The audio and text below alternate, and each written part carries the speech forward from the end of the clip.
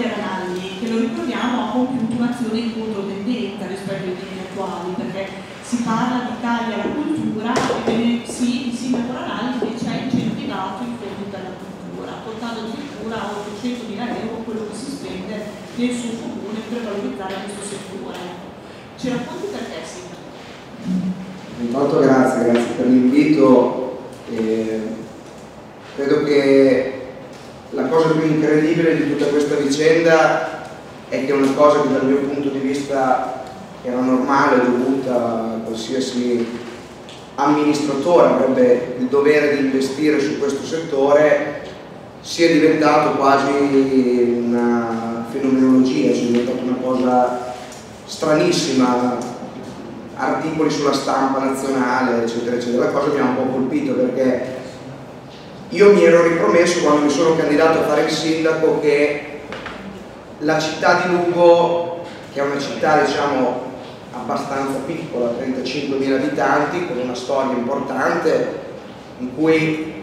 il teatro e la musica avevano avuto un'influenza dal mio punto di vista molto importante, dovesse tornare, io l'ho coniato con questo slogan, all'altezza della propria ambizione. E quindi mi sono posto il tema di come e di quale era lo strumento con il quale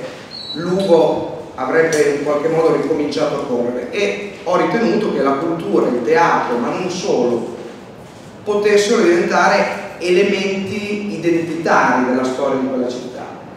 E quindi io oggi ho sentito parlare di innovazione, una cosa diciamo, molto bella, credo anche per un amministratore giovane, tuttavia io ho fatto un'operazione che non ha nulla di innovativo, perché sono semplicemente tornato indietro, sono semplicemente ritornato ad investire in quel settore esattamente come si investivano i sindaci di, di qualche decennio fa. E anche qui come è stato possibile fare tutto questo? È stato possibile in una modalità che è semplice sotto un certo punto di vista ma che ha comportato certa, un certo lavoro, una certa fatica. Per esempio quello di andare a prendere i bilanci degli ultimi 3-4 anni del comune di Lugo, eh, posta per posta, andando a guardare laddove per esempio la distanza che vi era tra i bilanci di previsione e invece il, il bilancio consuntivo, tutta, tutti quei margini, cioè la somma di quelle risorse, sono, si sono trasformati nel giro di 6-8 mesi con un lavoro molto oculato da parte soprattutto delle ragionerie in risparmi e tutti quei risparmi lì che appunto ammontano a circa 800 mila euro, stiamo parlando di eh, sui 786 mila euro, che sono esattamente tre volte quello che investiva la giunta che mi ha preceduto, li abbiamo messi tutti per la cultura. Facendo che cosa? Facendo un'operazione di lettura di una cultura che non è solamente una cultura che si fa con il teatro, quindi alta, Abbiamo investito in questo Festival della musica barocca che è tradizionalmente qualcosa che a Lugo si è sempre fatto. Abbiamo chiamato il più grande esperto di musica barocca in Europa che è Rinaldo Alessandrini che è la, la persona diciamo, più quotata in questo momento, l'abbiamo chiamato a fare il direttore artistico di questo nuovo Festival del Barocco, ma abbiamo anche scelto parallelamente di investire un numero importante di risorse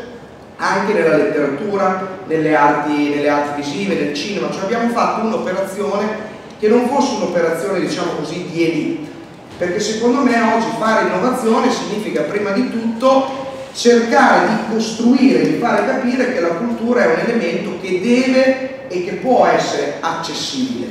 Ecco, questa è diciamo, la straordinaria innovazione che abbiamo fatto.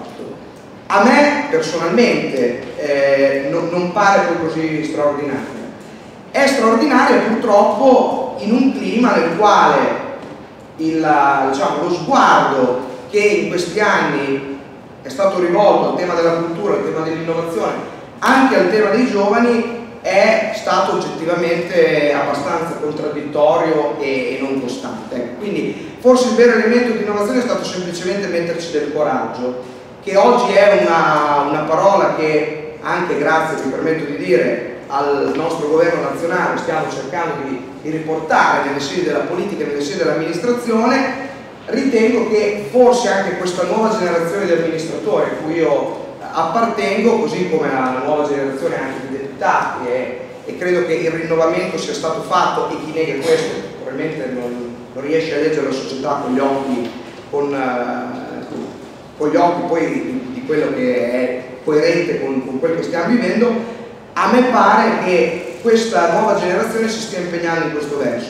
Noi l'abbiamo fatto, continueremo a farlo, stiamo predisponendo un nuovo bilancio di previsioni in cui non metteremo eh, e non eh, caleremo risorse sulla cultura, anzi grazie a questo progetto che abbiamo svolto sul 700 stiamo portando a casa, questo secondo me è il punto interessante che credo sia anche importante nel dibattito di oggi, risorse dal punto di vista eh, eh, risorse europee, perché stiamo iniziando a collaborare con i teatri della Svizzera, con qualche teatro francese, quindi stiamo veramente riportando questo piccolo teatro di oltre 480 posti a dialogare con teatri ben più importanti e questo ci consente di strutturare dei progetti che possono a livello europeo attrarre ulteriori risorse. Quindi paradossalmente questo è stato un vero e proprio investimento perché ci ha, ci ha consentito appunto di portare eh, a casa eh, nuove risorse. Io spero che possa appunto essere un esempio importante, però vorrei che alla fine di questo percorso un'operazione come questa non suscitasse il clamore che diciamo, forse in parte fortunatamente ha suscitato, ma che diventi diciamo, la normalità. Io me lo auguro e spero che la giornata di oggi ci aiuti anche a, a far entrare questo nei nostri ragionamenti. Grazie Sindaco.